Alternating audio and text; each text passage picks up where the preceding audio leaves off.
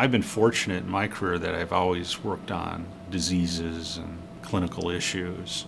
But for other scientists, it's quite an appealing thing to all of a sudden be able to work on a disease that they never really had that connection with patients or families before. And I think that's really been hugely rewarding to all of us that work on Fragile X syndrome to know that what we're working on is something that could have some future benefit to lots of people, lots of families.